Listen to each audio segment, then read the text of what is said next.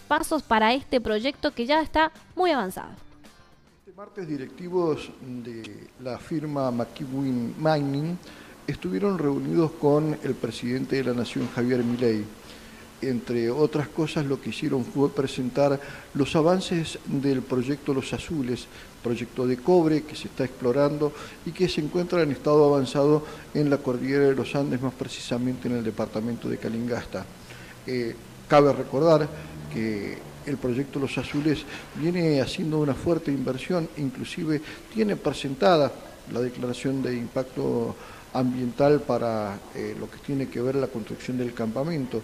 Eh, está todo en proceso de desarrollo y en este, en este trabajo están buscando inversores para poder llevar para poder desarrollar en la etapa que se viene.